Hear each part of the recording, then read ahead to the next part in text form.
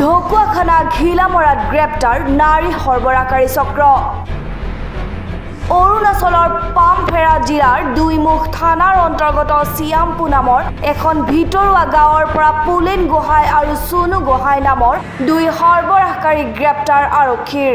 বৰ্তমান কৰ্মসূত্ৰে অৰুণাচলত বাস কৰা পুলেন গোহাঁয়ে নিজ কন্যাৰ সহযোগত প্ৰতিবেশী নাবালিকা এগৰাকীক ফুচুলাই নি বিক্ৰীৰ বাবে যোজা চলায়। পিছত নাবালিকাজনীৰ পিতৃৰ অভিযোগৰ ভিত্তিত সোমবাৰে নিশা ঘিলামৰা আৰক্ষী আৰু ঢকুৱাখানা মহকুমা আৰক্ষী বিষয়া মোহনলাল মীনাৰ নেতৃত্বত অভিযান চলাই অৰুণাচলৰ পামফেৰা জিলাৰ দুইমুখ থানাৰ অন্তৰ্গত চিয়াম্পু নামৰ এখন গাঁৱৰ পৰা অভিযুক্ত পুলেন গোহাঁই তেওঁৰ পত্নী কন্যাৰ লগতে নিৰুদ্দিষ্ট নাবালিকাগৰাকীক উদ্ধাৰ কৰে। তেৰহ জুলাই দুহাজাৰ উনিশৰ এটা কমপ্লেন্ট আইছিলে কি দুটা ছোৱালী মাইনৰ ছোৱালী ঘিলামাৰা পৰা মিচিং হৈ গ'ল। তাৰপিছত ओसी एंड मोए, पूरा गुटेकने इन्वेस्टिगेशन करी।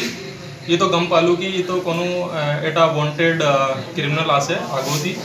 रॉबरी थेफ्ट और डेकोटी और एटा क्रिमिनल आसे, ये तो सवाली और लोईगोल अरुणाचल और लोई लोईगोल ये तो एटा सवाली तो निजोर डॉटर होए बट जो दूसरा लड़की था, वो उसका नेबर था।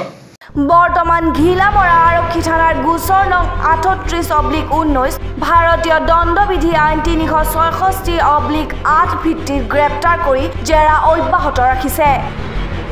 থাৰ্টিন ছেভেন নাইনটিন আমি এখন মিচিং এটা ৰিপৰ্ট পাইছিলোঁ। দুজনী ছোৱালী মিচিং হৈছিলে।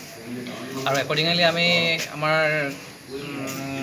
গিলামা P S case number eighty eight oblique nineteen আমি এটা কেছ আমি এটা এটা গোচৰ ৰুজু কৰি আমি তদন্ত কৰি কৰিছিলোঁ আৰু সেইমতে আমি যোৱা ৰাতি আমি অৰুণাচলৰ আহ, পামফিয়া ডিষ্ট্ৰিক্টৰ পৰা আমি ছোৱালীজনী দুজনী উদ্ধাৰ কৰিছোঁ।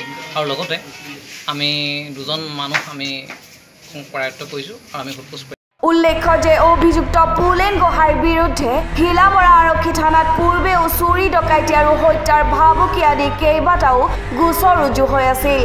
ঢকুৱাখানাৰ পৰা জিন্তু কোচৰ ৰিপৰ্ট পি আই নিউজ।